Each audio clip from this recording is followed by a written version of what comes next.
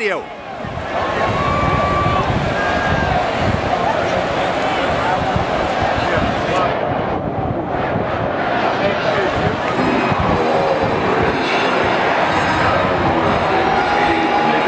is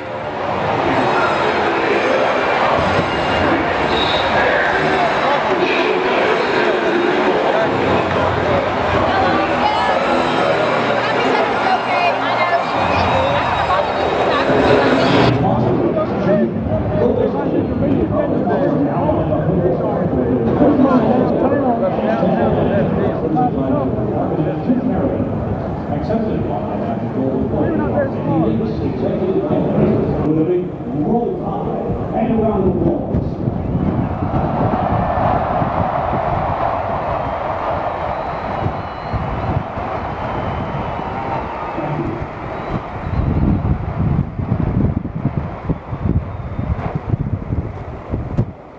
1961 National Championship team today as honorary captains are Willie Richardson, Coach Wilson, and Mike Brackett. The first player ever signed by Coach Bryant at Alabama, Willie Richardson, came to the national his own ball. and starred as a running back of the 59 through 61 teams.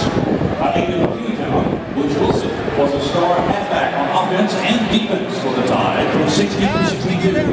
He went on to play seven years as an end